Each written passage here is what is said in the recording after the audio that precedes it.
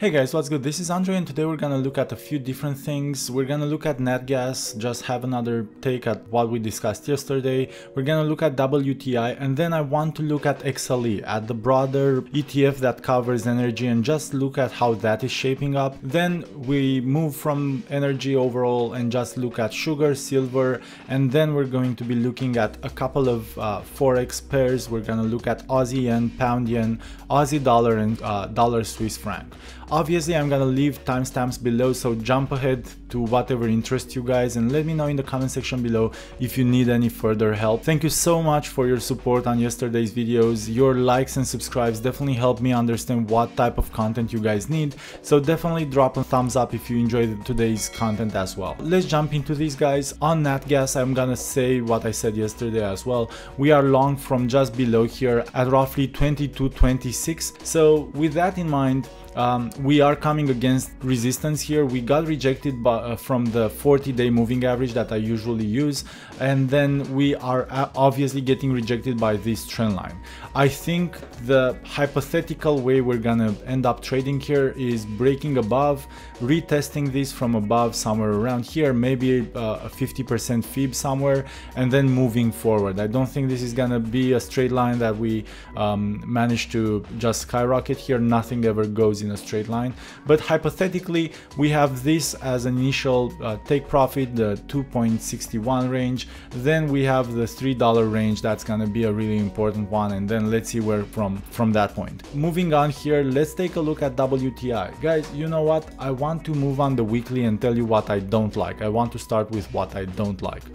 First off, you guys know that the, the markets are always uh, forward looking. And so if you look at every single year, what happens is that roughly March through June tends to be, or through May at least, and actually let's switch back to the daily because you can see it clearer and then I'm gonna show you what I wanted to show you for the weekly.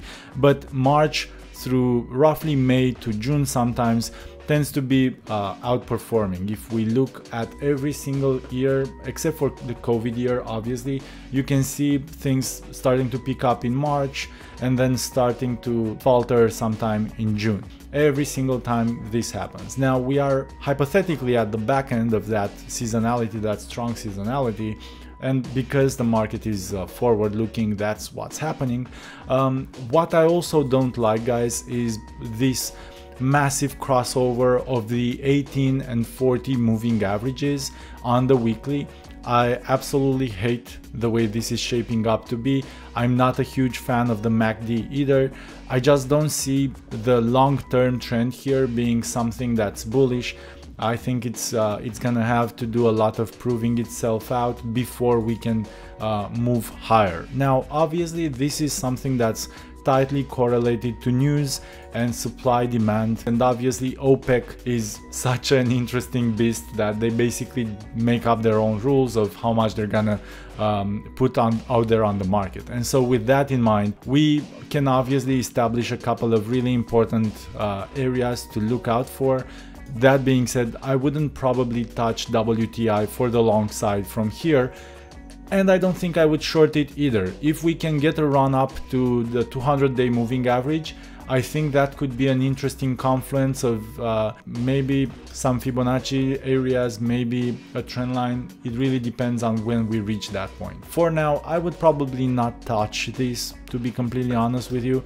I would probably only ever look at it if we can get a confluence of, let's say, this range over here where we retest the trend line, we hypothetically retest the moving average, and then we also retest this 0.23 fib from over here. I wouldn't do anything else for the time being. I think uh, we're kind of diddling in the middle uh, in this range. Cool. Moving over to the XLE, so the spider sector of the S&P 500 for energy. I don't like the way this is shaping up to look like. I'm gonna be honest with you guys, if we take a look on the weekly, uh, this looks even worse. Uh, we have a MACD that keeps uh, falling. And then if we look at the price action alone, we can see that we've been making higher lows, but we haven't been able to make higher highs for quite a while here. Now, this looks like either a continuation or a topping formation. We can call it a triangle, loosely um, and maybe we can even call it the, the big head and shoulder uh, type pattern, right? We can say that this is kind of a, a left shoulder, this is kind of a head, and maybe we're forming a right shoulder. It's nothing super precise, it's definitely more of a a Frankenstein type head and shoulder, maybe a complex one, but still it's either a continuation or a topping pattern. The way you trade these is after a break above. So I wouldn't touch this unless we get a break above this moving average or a break below the neckline. If we get a break below the neckline, it's gonna be free fall probably until at roughly $60.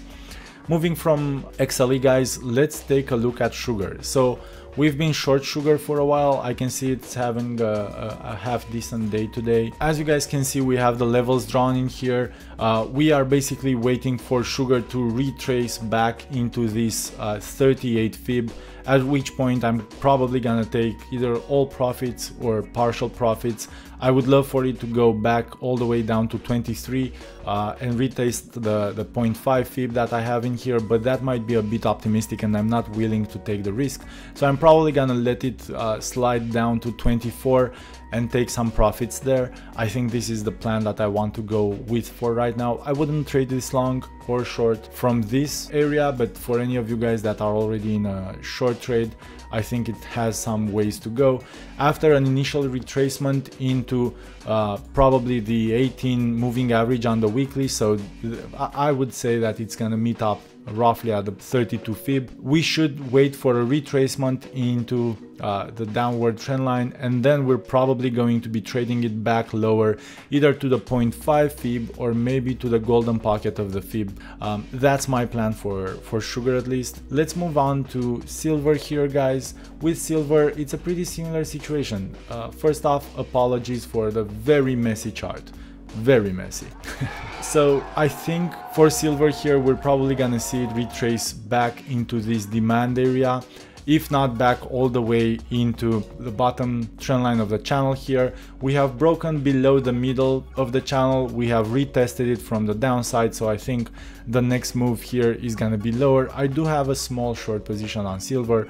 Long term though, I think the trend is up. Moving on here guys, let's take a look at Forex and we're gonna have Aussie Yen for the first one. Aussie Yen guys, I would love to see this move lower from here. We took it short from the top of this channel. It's also a supply zone on the weekly, a pretty important one. So we're now going to be waiting for it to retrace back at least into the 91 range here, if not lower. The next one would be Pound Yen guys. The British Pound was extremely stubborn. It kept going up, but we finally got a break below. We're going to be waiting for a retest of some sort. So we want to get that one, two, three guys. We want to get the one, the two of some sorts, and then the three to confirm that we've broken below this uh, previously made low. As you guys can see here, we got the one, but we never got the two and the three. So that's why it's really important to wait. We already took a couple of shorts here, but um, I would definitely increase my position on a successful creation of a 2 and a successful confirmation of a lower low. That that would be interesting and then I think that we can hypothetically move all the way down to 100 65 at least if not retest uh, the 161 range of this trend line over here last couple guys if you uh, withheld so far your absolute champions we have the Aussie USD over here Again, very messy chart, I do apologize for that. This looks strikingly like a bear flag, guys. We have the pole over here, and then we've created the flag on the weekly. Now if this does confirm being a bear flag, we're going to be going down quite far to retest the 0.61 range over here. If it doesn't confirm that, we're in big trouble. I am short this position and I'm looking at this trend line here. If it breaks above this trend line, I'm gonna have to stop loss. Um, but if it doesn't, I'm still adding for the time being because I think this still has big potential to go lower significantly. The MACD on the weekly looks bad um, and then just the setup overall on the daily doesn't look encouraging at all. We're making lower highs and lower lows for now. The last one guys, we have the dollar uh, Swiss franc this pair has been struggling for the longest time.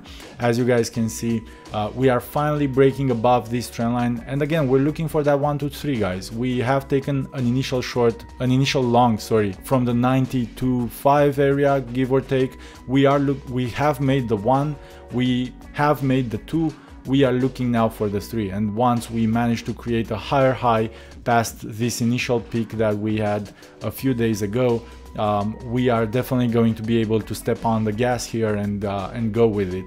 I also love the fact that the 18 is moving is crossing above the 40 and then on the weekly if we have a look the 18 uh, moving average has reduced slope so that's a positive as well I don't like the fact that it's still going down but I do like the way the MACD is looking it's starting to crouch over and I think this is gonna be uh, a potential good long. That's all for today guys, you're absolute champions. Don't forget to check out my Patreon. Uh, I post a lot of really good quality content and a lot of free one as well. You don't need to pay for it, just check it out. I post daily Sure, if you pay five bucks for it, you're gonna get even more, but even the freemium is pretty cool. Um, I'm gonna catch you guys next time. Don't forget to like and subscribe. Take care.